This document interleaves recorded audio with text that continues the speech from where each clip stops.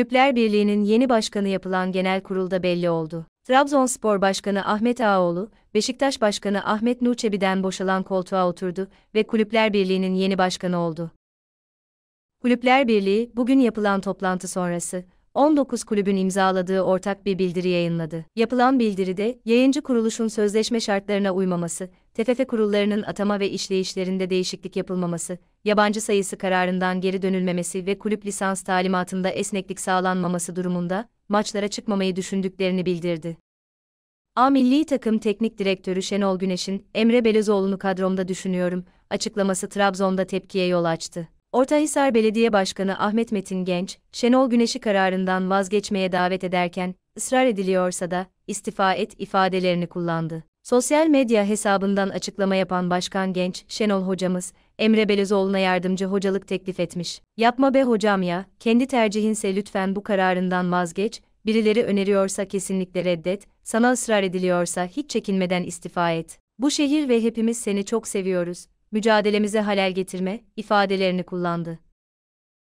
Trabzonspor'un en heyecan verici transferlerinden biri olan Gervinho, takıma kısa sürede uyum sağladı. Riva kampında sıkı çalışan ve özellikle taktik idmanlarda gösterdiği performansla teknik heyetin benisini kazanan Fildişili Yıldız, hücum hattında fark yaratacağının sinyallerini veriyor. 34 yaşına girmesine rağmen hızından hiçbir şey kaybetmeyen Gervinho, idmanlarda savunmacıları fazlasıyla zorluyor. Başarılı futbolcunun en yakın iletişim kurduğu oyuncu ise Anthony Vakayeme. Gervinho'nun takıma alışma sürecini hızlandıran Vakayeme, saha dışında da sürekli onun yanında bulunuyor. Gervinho'nun yanı sıra Trabzonspor'un diğer yeni oyuncuları Bruno Perez ile Fode Koita da hazır bir görüntü sergiliyor. İmza öncesindeki süreçte sürekli bireysel çalışmalar gerçekleştiren Koita, beklentinin farkındayım. En iyisi için çok çalışacağım sözünü vermişti.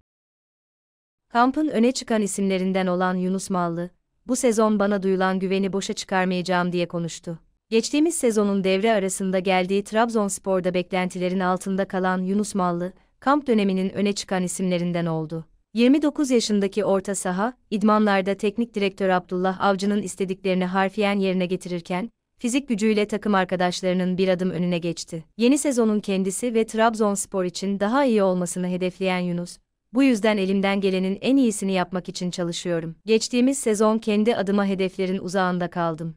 İnanıyorum ki, yeni sezonda takımımın hedeflerine ulaşmasına katkıda bulunacak performansı sergileyeceğim. Bana duyulan güveni boşa çıkarmayacağım açıklamasını yaptı.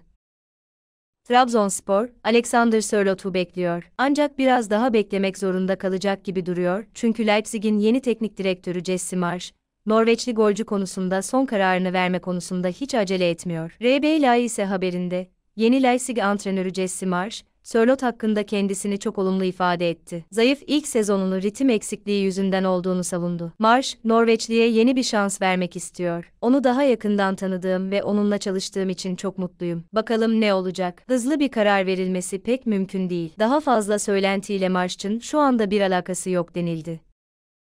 Trabzonspor'da sol bek arayışları devam ediyor. Alioski, Meling, Sarakçı gibi isimlerle görüşen Bordo Mavili kulüp son olarak Inter forması giyen Dalbert'e kanca attı. Oyuncu için Inter kulübüne kiralama teklifi yapan Bordo Mavili kulüp gelecek cevabı beklemeye çekildi. Geçtiğimiz sezonu Rennes'te geçiren Dalbert 2.5 milyon euro karşılığında kiralanmıştı. Öte yandan Trabzonspor'un Alioski için ise imza parası ile birlikte 2.1 milyon euroluk teklifi bulunuyor. Trabzonspor'un geçen sezonu Bandırma Spor'da kiralık olarak geçiren forveti Rahmi Anıl Başaran'ın yeni takımı Tuzla Spor oldu. Tuzla Spor'dan yapılan resmi açıklamada Tuzla Spor'umuz Trabzonspor'dan 21 yaşındaki sağ, sol kanat, forvet mevkiinde oynayan Rahmi Anıl Başaran'ı bir yıllık olarak kiraladı. İfadelerine yer verildi. Forvet transferinde oldukça titiz bir çalışma yürüten Trabzonspor'un Sörlot'un alternatifleriyle görüşmelerini devam ettiriyor. Leipzig'in Sörlot hakkında vereceği kararı bekleyen Bordo Mavililer B planı içinde tetikte. Bu doğrultuda Trabzonspor'un gündeminde Danimarkalı golcü Cornelius bulunuyor. Danimarka'nın Avrupa Şampiyonası'na yarı finalde İngiltere'ye yenilerek veda etmesi sonrası tatile çıkan Cornelius ile görüşmelerin başlaması bekleniyor. Trabzonspor'un bir diğer alternatifinin ise Polonyalı futbolcu Karol Swiderski olduğu ortaya çıktı. Bordo Mavililerin geçen sezon devre arası transfer döneminde de gündemine gelen oyuncu için yeni bir girişimde bulunulacağı kaydedildi. Yunanistan ekibi PAOK ile bir yıl daha sözleşmesi bulunan 24 yaşındaki futbolcunun güncel piyasa değeri 5 milyon euro olarak gösteriliyor. Yunan ekibinde toplamda 105 maça çıkan 1.84 boyundaki oyuncu 31 gol, 11 asistlik performans sergiledi. Trabzonspor'da iç transferde genç futbolcu imzayı attı. Trabzonspor formasıyla UEFA Avrupa Ligi'nde sahaya çıkan en genç futbolcu unvanına sahip olan Muhammed Akpınar'ın sözleşmesi uzatıldı.